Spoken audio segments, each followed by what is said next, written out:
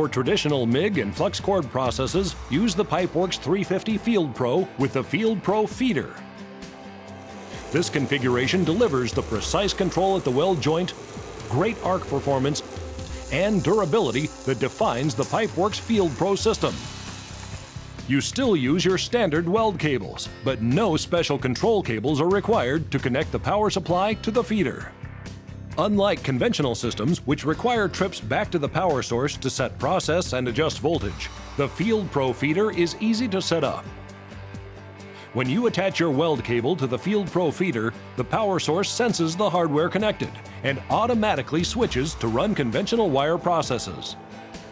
Welders simply connect the gas, adjust their voltage and wire feed speed at the feeder for quick setup and complete control at the weld joint. It's that simple. The system is ready to weld at whatever settings you need to achieve optimal performance.